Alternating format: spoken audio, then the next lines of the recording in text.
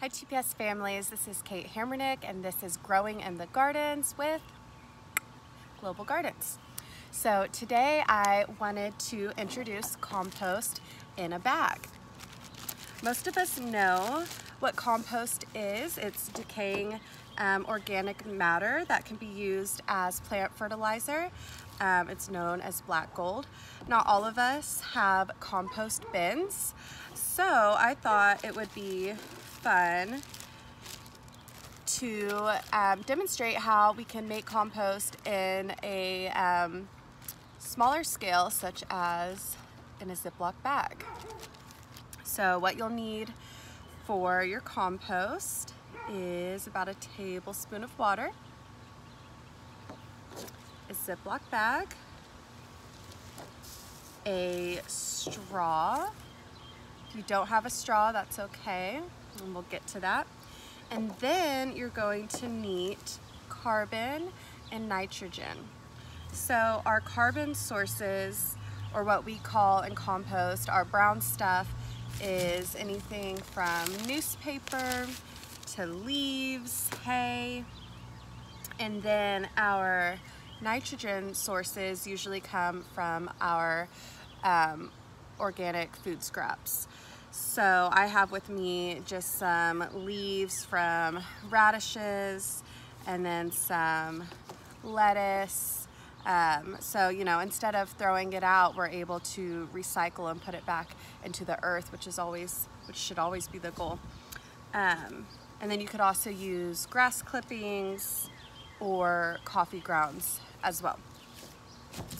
Okay, so while when we're making our compost in a bag, we want to make sure it's about a two to one ratio of nitrogen to, or yeah, of nitrogen to carbon. So I'm gonna start ripping up all of my greens into super tiny pieces. Eventually it would all decompose, but this just kind of gets the process moving along a lot quicker. So I am going to just start ripping in super, super tiny pieces. And then all of the microorganisms um, don't have to work just as hard. I'm kind of giving them a little head start. And then as I'm ripping the pieces, I'm gonna go ahead and put them in my bag.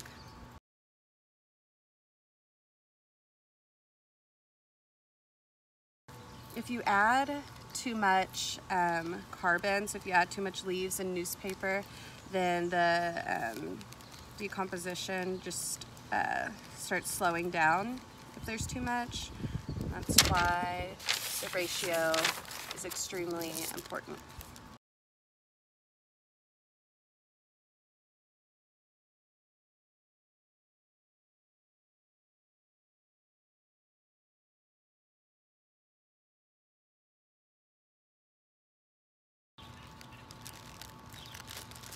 You could also use scissors and it might go by a lot quicker.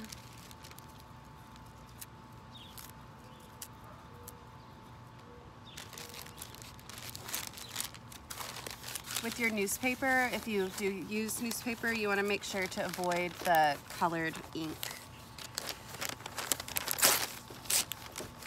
as much as you can.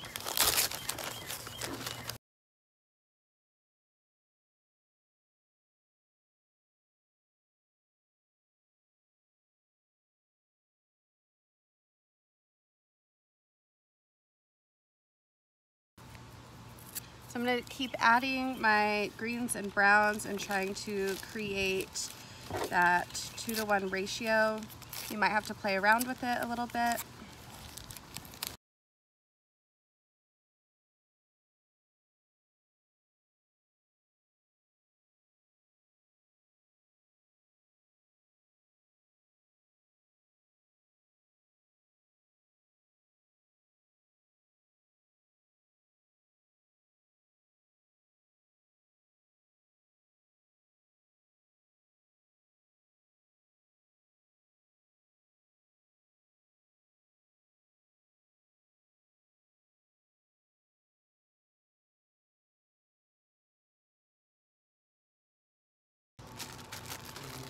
So I put this much. You can keep going all the way to the top of the bag. In fact, I recommend that.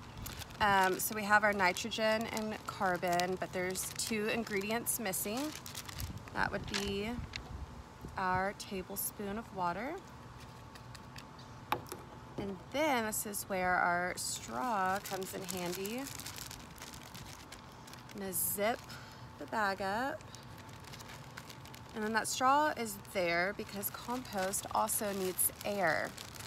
So once you have your straw in, you have your nitrogen, carbon, and water um, for the, about a month or so, you can observe your compost. Um, you could put it in a sunny window.